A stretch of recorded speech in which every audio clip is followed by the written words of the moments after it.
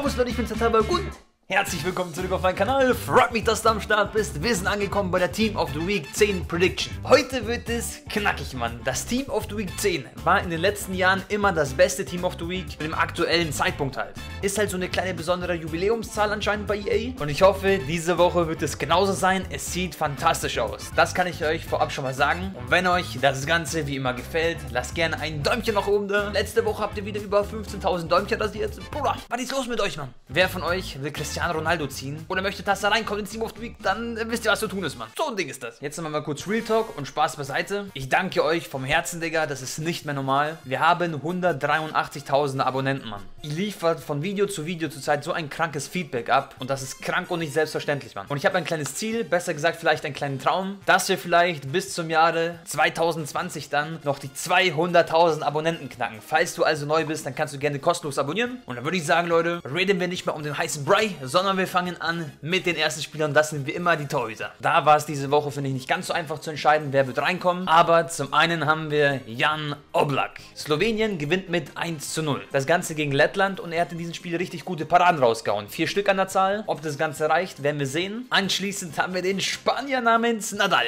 Und das ist nicht der Tennisspieler, sondern halt ein Torwart. Der wurde Man of the Match. 1-0 gewinnen sie gegen Real Zaragoza. Das kann sich sehen lassen und in diesem Spiel irgendwie 12 Paraden rausgehauen. Also der hat mit Abstand auf dieser Position am besten performt. Und ich weiß, viele von euch würden jetzt reinschreiben, wo ist Manuel Neuer? Aber bei Deutschland gibt es wirklich zwei andere Kandidaten, die es möglicherweise eher verdient haben, reinzukommen. Das war es dann schon mit den Torhütern, Leute. Wir gehen rüber zu den Verteidigern. Angekommen bei dem ersten Kracher, Leute. Ich hab's euch ja gesagt, das Team of the Week 10. Das wird, glaube ich, was ganz Besonderes, Mann. Ich weiß, Team of the Week 9 war schon brutal, aber ich meine, hier wird nochmal eine Schippe draufgelegt. Und unser erster Kracher ist Raphael Varan. Leute, ganz ehrlich, wer möchte den bitte in Rot ziehen? Besser gesagt, wer möchte den nicht Rot ziehen, Mann? Er ist mit der beste Innenverteidiger in FIFA 20. Dazu jetzt noch ein Info möglicherweise, das wäre brutal. Und übrigens gab es teilweise auch zwei Spiele für manche Nationen, denn Frankreich hat unter anderem gegen Moldawien 2 zu 1 gewonnen. Dort hat Raphael Varan einmal getroffen. Und jetzt dazu noch am Wochenende haben sie gegen Albanien 2-0 gewonnen. Und dort gab es für ihn dann eben das zu 0 Ergebnis, was ja auch nicht schlecht ist. Übrigens hat Griezmann ein Tor gemacht, ein Tor vorbereitet, wird aber allerdings, glaube ich, nicht reichen. Und was ich noch unbedingt erwähnen muss, es wird leider keine dynamischen Karten geben. Also so ein Varan im Frankreich-Trikot werdet ihr nicht sehen. Da hat EA leider nicht die Rechte für die Nationalmannschaften. Aber hey, was willst du tun? Dafür bekommen wir vielleicht eine garantierte Team of the Week Prediction.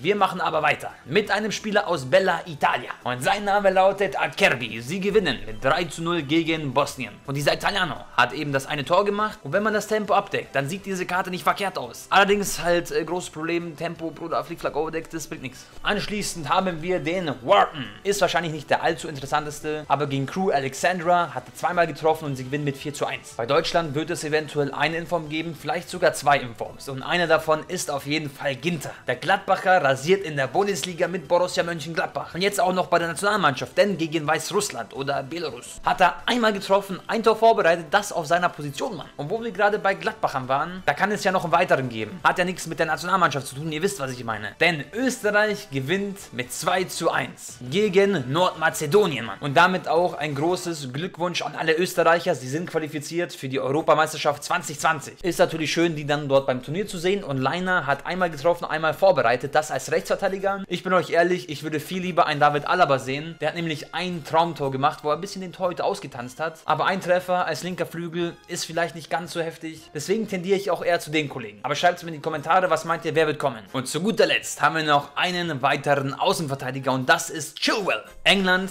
die sind aber mal sowas von durch die Gruppe marschiert, Alter. Die haben gefühlt halt alles zerlegt. Ich weiß nicht, wie sie es gemacht haben, aber jetzt passt mal auf, Leute. Chilwell hat beim 7 zu 0 Sieg gegen Montenegro drei Tore vorbereitet. Das ist ein Hattrick quasi mit Assist. Ihr wisst, was ich meine. Ich bin mir sicher, dass aus diesem Spiel eigentlich zwei Informs kommen müssen. Und einen weiteren werdet ihr später sehen. Chilwell würde damit seine zweite Informkarte bekommen. Sieht nicht mehr so verkehrt aus. Mal schauen. Und angekommen sind wir jetzt schon bei den Mittelfeldspielern. Und die Polen, die sind wirklich auch on fire. Und ein Spieler, der damals, glaube ich, in der spanischen Liga bei Valencia oder so gespielt hat, ich weiß nicht mehr ganz genau, heißt auf jeden Fall Krihoviak. Leute, das wäre potenziell sein Second Inform, hat einmal getroffen und sie gewinnen gegen Israel, die wirklich auch eine sehr starke starke Nationalmannschaft haben mit 2 zu 1 und damit ist Polen auf dem ersten Platz und einfach nur GG, Mann. Und jetzt kommt der nächste Kracher vom Rating her. Spielerisch in FIFA 20 wahrscheinlich nicht der allerbeste, aber Toni Kroos, Mann, was hast du denn bitte da gemacht? Für Deutschland schießt er zwei Tore. Deutschland hat sich natürlich jetzt auch qualifiziert, da hätte er ja ein Unentschieden gereicht. Und bei diesem Spiel, habe ich es ja vorhin schon erwähnt, meine ich, dass Ginter als auch Kroos vielleicht kommen können. Toni Kroos war Man of the Match, hat ein 10,0er Rating, der hat halt das perfekte Spiel gespielt, Mann. Wenn wir uns aber jetzt ganz ehrlich das Tempo anschauen, Leute, ihr wisst selber, der wird nicht teuer sein und der wird leider auch nicht gut sein. Seine Screamkarte ist da viel, viel besser. Und anschließend sind wir angekommen, Leute, bei den Dänen. Und die haben mal gut rasiert.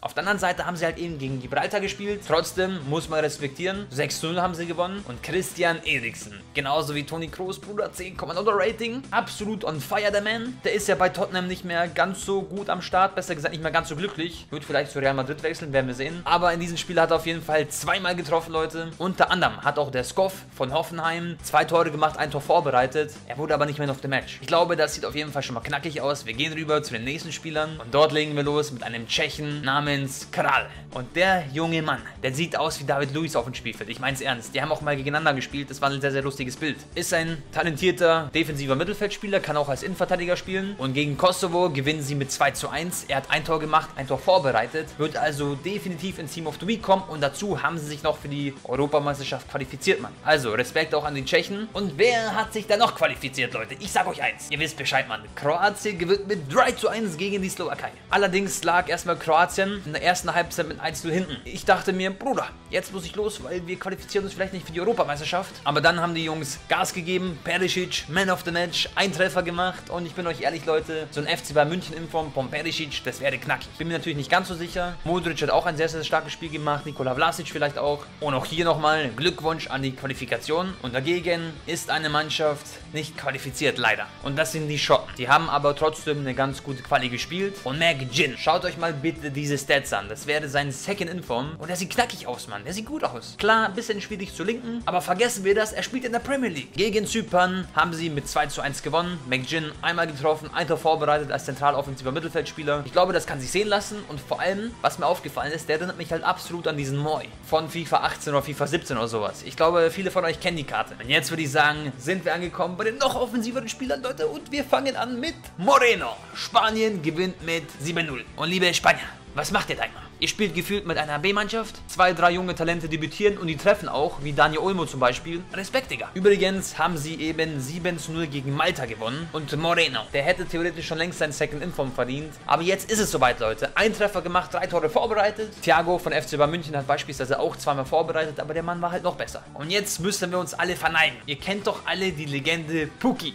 Der hat ja schon seine POTM-Karte bekommen. Aber jetzt hat er noch eine Schippe draufgelegt, denn Finnland hat sich das erste Mal in deren Geschichte, in deren History qualifiziert für ein Turniermann. Und das ist eben die Europameisterschaft. Ich ziehe meinen Hut, Mann, und ich freue mich einfach für die Finnen. Puki hat übrigens zwei Tore gemacht und Hero-Karten haut EA wirklich gerne raus. Und ich kann mir vorstellen, dass sie ihm auch eine geben werden. Weil es schon was sehr, sehr Spezielles war. Und übrigens haben sie mit 3 zu 0 gegen Liechtenstein gewonnen. Wir machen aber weiter, Leute, mit England. Und vorne hatten wir ja schon Chilwell. Der war ja schon in der Prediction am Start. Es könnte natürlich noch einen weiteren Spieler geben und das ist eben Harry Kane, weil er hat dreimal getroffen, Jungs, gegen Montenegro und gegen Kosovo hat er übrigens auch einmal getroffen und einmal vorbereitet. Also wenn der nicht in diesem Team of the Week ist, Jungs, dann muss ich meinen YouTube-Kanal aber schnell schließen. Wisst ihr, was aber das Problem ist? Der kann noch 1, 2, 3, 4, 5 Informs bekommen, die Karte wird trotzdem nicht gut sein. Das ist halt leider nicht die Meta dieses Spiels, muss man halt ehrlich sagen. Und wer aber auch ein fantastischer Stürmer ist, ist der Mann von Serbien namens Mitrovic. Gegen Luxemburg gewinnt Serbien mit 3 zu 2. Mitrovic hat zwei Tore gemacht gemacht. Eins davon war wirklich Weltklasse. Er könnte seinen Second Inform bekommen, auf die 84er springen. Gegen Ukraine haben sie 2 zu 2 gespielt, dort hat er auch einmal getroffen. Und schreibt mir mal bitte in die Kommentare, hat Serbien oder haben allgemein Drittplatzierte noch eine Möglichkeit, sich zu qualifizieren? Und dann würde ich sagen, legen wir jetzt los mit den richtigen Kracher. Ihr müsst euch jetzt irgendwo festhalten. Belgien spielt gegen die russische Föderation. So ein Ding. Also ich meine natürlich Russland. Und dort hat Eden Hazard zwei Tore geschossen und ein Tor vorbereitet. Jungs, es ist Zeit für die Wants to Watch Upgrade Karte von Hazard. Hazard. Und ich bin euch ehrlich, falls ihr eine Monster Watch Karte von Eden Hazard habt, dann würde ich die auf jeden Fall im Hype verkaufen. Und was das Beste daran war an der ganzen Geschichte. Die Hazard-Brüder haben sich gefühlt die Tore vorbereitet. Und Eden Hazard, linker Flügelspieler, ich freue mich einfach nur riesig auf die Karte. Und stell euch mal vor, den zieht man in Rot, Jungs. Ich weiß, es ist schwierig, aber, aber Digga, man muss immer Hoffnung haben, man muss immer dran glauben. Und übrigens gewinnt Belgien mit 4 zu 1. Natürlich auch qualifiziert. Und welche Mannschaft es jetzt mittlerweile auch geschafft hat, bei EM 2020 am Start zu sein, ist Portugal. Und wer hat dafür gesorgt, ist natürlich Cristiano Ronaldo, Mann. Freunde, letzte Woche Messi, diese Woche Ronaldo. Die zwei besten Fußballer der Welt, vielleicht die zwei besten Fußballer aller Zeiten, sind back-to-back -back im Team of the Week, Digga. Und das Ding ist, ihr könnt euch erinnern, Messi hat einmal zwei Tore gemacht, zwei Tore vorbereitet. Dann hatten sie aber noch ein zweites Spiel, wo Barcelona verloren hat. Und bei Portugal ist es ähnlich. Sie haben das eine Spiel gehabt gegen Litauen, da haben sie 6-0 gewonnen. Er hat einen Hattrick geschossen. Und dann gab es noch das zweite Spiel. Hätten sie das verloren, dann wäre das gleiche passiert wie bei Messi damals. Aber nein, Leute. Gegen Luxemburg gewinnen sie mit 2-0. Und äh, ja, Bruder, Cristiano Ronaldo hat nochmal getroffen. Und ich sage euch jetzt eins: 15.000 Daumen haben wir geschafft. Freunde, rasiert hier nochmal. Und vor allem, falls ihr Ronaldo haben wollt. Ihr wisst Bescheid, Mann. Real Talk, wie wäre das Gefühl? Gefühl, wenn man den Cristiano Ronaldo als roten Player-Pick zieht. Er hat aber auf dem rechten Flügel gespielt. Spielt aber, glaube ich, absolut keine Rolle, weil man kann ihn trotzdem perfekt linken. Ich sage euch eins, ich bin einfach nur absolut hyped. Es gibt heute Abend übrigens noch weitere Spiele. Die zählen auch noch zum Team of the Week 10. Die werde ich alle in meiner Instagram-Story posten. Schaut also unbedingt bei Instagram vorbei und lasst da gerne ein Follow da. Und jetzt machen wir weiter mit der Auswechselbank. Glückwunsch an die türkische Nationalmannschaft. Die haben es geschafft, gegen Island beim 0 0 Spiel sich für die Europameisterschaft zu qualifizieren. Und jetzt gab es noch ein zweites Spiel, das haben sie 2 0 gewonnen und Ünal hat eben zweimal getroffen. Dann haben wir einen Spieler von Saint-Etienne namens Kazri auch zweimal getroffen und Vergara ist der erste Mann auf der Bank, der einen Hattrick gemacht hat. Wilson, der Waliser, einmal getroffen, ein Tor vorbereitet gegen Aserbaidschan, haben das Ganze am Ende gewonnen. Al-Farai hat als Mittelfeldspieler zweimal getroffen, eins davon war ein Elfmeter. Und jetzt haben wir den Schwede namens Forsberg gegen Rumänien, gewinnen sie mit 2 zu 0. Und Berg, der Stürmer, den gibt es leider nicht im FIFA Ultimate Team. Forsberg hat ein wunderschönes Tor vorbereitet und somit kann ich mir gut vorstellen, dass dass es auch möglicherweise ein Team of the Week schafft. Didio, wahrscheinlich habe ich ihn richtig ausgesprochen, aber hat auf jeden Fall drei Tore gemacht. Dann haben wir noch den ihren namens Donovan, ebenso dreimal getroffen. Ihr kennt es ja, auf der Auswechselbank sind immer so diese ganzen Hattrick-Spieler. Und zu guter Letzt haben wir noch den Norweger namens Sörlov. Und der Kollege hat zwei Tore geschossen beim 4 zu 1 Erfolg. Das war's somit mit den ganzen potenziellen Kandidaten. Wenn man sich das Ganze anschaut, von Varan rüber zu Cristiano Ronaldo, zu einem Perisic, zu einem Eden Hazard, ein Toni Kroos, ein Christian Eriksen, dann dann sieht das phänomenal aus. Wenn euch das Ganze gefallen hat, dann lasst gerne ein Däumchen nach oben da, ihr wisst Bescheid. Und falls du neu auf diesem Kanal bist, dann kannst du gerne kostenlos abonnieren. Und dann würde ich sagen, war es das von mir. Wir sehen uns beim nächsten Mal. Danke für den Support. Bis zum nächsten Mal, euer Tabak. Ciao.